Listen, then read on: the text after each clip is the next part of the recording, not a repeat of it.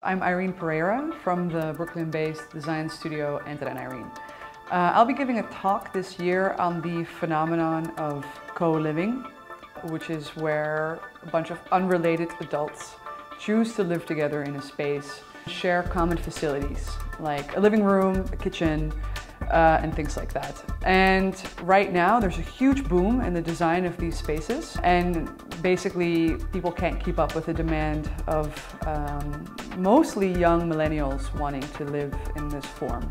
There's a lot of information we have around this. We did a lot of research on the topic uh, as it relates to our personal project that we did last year called One Shared House.